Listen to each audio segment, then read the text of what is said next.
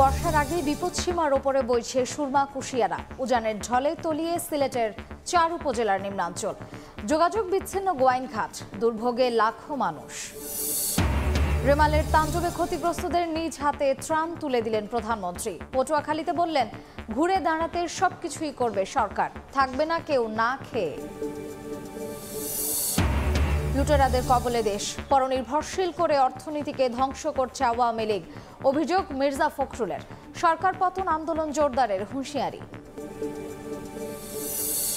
এবং রাজধানীতে এবার কোরবানি হবে পঁচিশ লাখ পশু। একদিনের মধ্যেই বর্জ্য অপসারণের নির্দেশ। ঈদের যানবাহনে বাড়তি ভাড়া আদায় বন্ধের তাগিদ সেতুমন্ত্রীর।